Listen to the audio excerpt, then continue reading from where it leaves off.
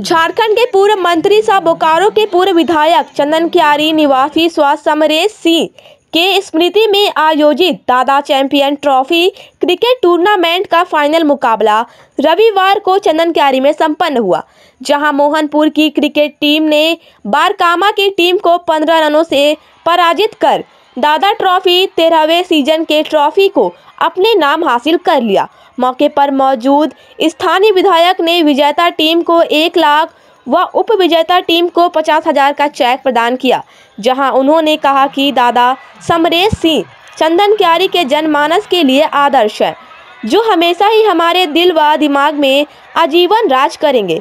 इस दौरान उन्होंने टूर्नामेंट में भाग लिए सभी टीमों व खिलाड़ियों समेत दर्शक व सहयोगियों का आभार प्रकट किया। मौके पर चार प्रखंड के प्रमुख बेला देवी भाजपा नेता जयदेव राय, थाना प्रभारी मुकेश कुमार, निमाई महता प्रदीप मांझी, विनोद गोराई, फटिक दास, ओमियो ओझा, सुकोमल पाल, अजीत धर वंशीधर समेत अनेकों मौजूद थे।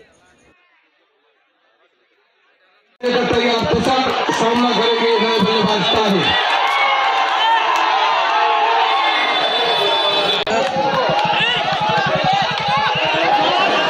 अच्छी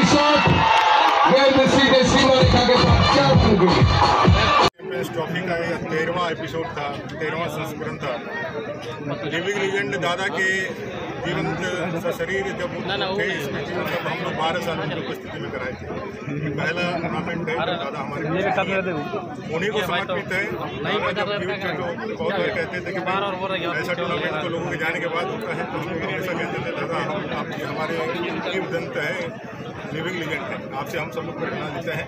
इस चार चंदनकारी की जनता आपसे प्रेरित होती है। और युवा इस बात को जो भाई एक चंदनकारी से एक ऐसा लड़का जैसे गाँव से निकल करके पूरे दुनिया के फलक में चमका है, उसको समर्पित किया उसी पूरे सम्मान के साथ यह दादा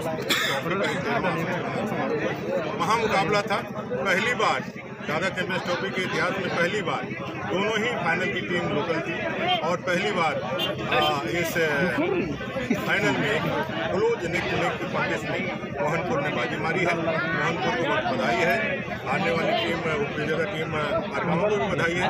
संघर्ष करके यहाँ पर पहुँचे हैं। यह टूर्नामेंट को सफलतापूर्वक संपन्न कराने में हमारे वॉलंटियर्स और जितने भी हमारे जनप्रतिनिधि हैं, सबका बहुत बड़ा योगदान रहा है। आप सबको बधाई देते हुए इस टूर्नामेंट की सफलता को आप आगे भी बरकरार रखिए। आपके सहयोग से ही चंदनगढ़ के सहयोग से ही टूर्नामेंट बढ़ रहा है। आप सबके सहयोग से इसको और आगे बढ़ा के ले जाना है। आप सबको बधाई। प्रयास हो सकता है, की जा रही है। आपने देखा हो कि अंतर्राष्ट्रीय स्तर के स्टेडियम भी बना है। गोल्ड मेडलिस्ट हमारे इतने ही कम समय में हमारे आंचल हुए अब ट्रैक एंड फ़ील्ड में और फुटबॉल में लोग आगे बढ़ रहे हैं। तो ये कंटिन्यूसली इसको आगे प्रमोट करने का हम लोगों का प्रयास है। जब हम लोग कुछ नहीं थे तब से दादा ट्रॉफी हम लोग यहाँ चालू थे आज इसका कितना इसका, मैं समझता हूँ पॉपुलरिटी है कि आप देखे होंगे हज़ारों हज़ार लोग देख करके जा रहे हैं और आनंदित आज दोनों ही टीमों ने खेल भावना से खेला है और बड़े स्पीडफुल तरीके से इसको लिया है गेम को एंजॉय किया है, लोगों ने भी इंजॉय किया है। इतने दिनों से जो इंतज़ार कर रहे थे लोग फाइनल का, उसका इस गर्मी में तबती गर्मी में भी जो हज़ार दर्शक हैं तो उनको भी साधुवाद। बड़ी अच्छे तरीके से ये टूर्नामेंट सफल हुआ। आप लोगों को धन्यवाद। सबको बताएँ